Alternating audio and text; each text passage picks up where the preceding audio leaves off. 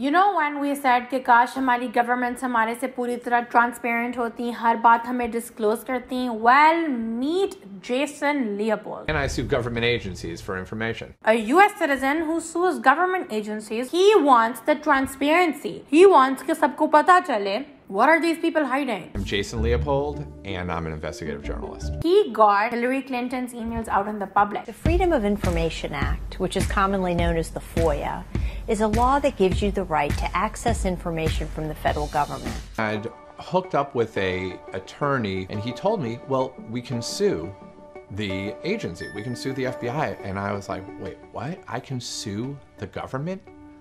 Uh, where do I sign up?" So you know what, Jason? Good for you. ये अगर पाकिस्तान में हो सके, how amazing would that be?